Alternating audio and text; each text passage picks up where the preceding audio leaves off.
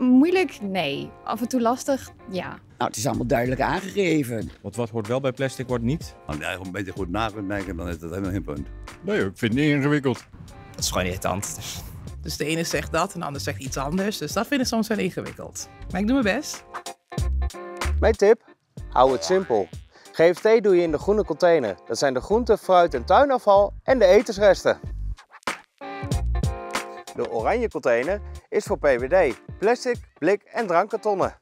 De blauwe container is voor papier en karton. Textiel breng je naar de textielbak en glas breng je naar de glasbak. En wat overblijft, dat doe je bij het restafval of breng je naar de Milieustraat. Twijfel je ergens over? Ga naar wijgaanvoor100.nl en hier vind je meer informatie en tips over het afvalscheiden. Ook kun je vragen stellen aan de afvalcoach. Mijn collega en ik helpen je graag op weg.